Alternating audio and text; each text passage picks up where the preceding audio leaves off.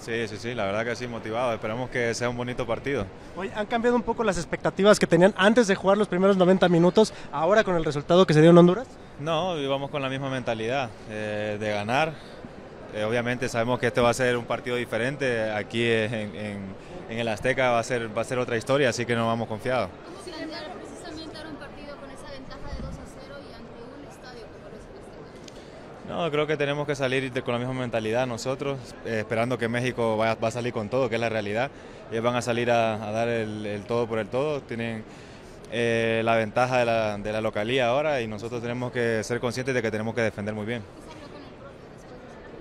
Nada, todo es felicidad de momento, pero bueno, lo disfrutamos ayer, ahora estamos pensando en el siguiente partido. ¿Cómo plantear justamente esos 90 minutos en el Estadio Azteca después de lo que ustedes muestran ayer en casa?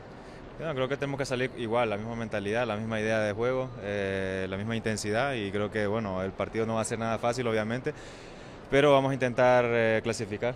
¿La falta de Memo Ochoa en la portería para ustedes también es favorable? Sí, sí, sí, la verdad que lamentable que, que le haya pasado lo que le pasó, la, lo de la lesión. Eh, pero yo espero que se recupere lo más pronto posible, eh, por el bien de él, obviamente, y de la selección de México. Eh, pero para nosotros sí va a ser una ventaja que él no esté, obviamente tiene una experiencia y tiene una jerarquía.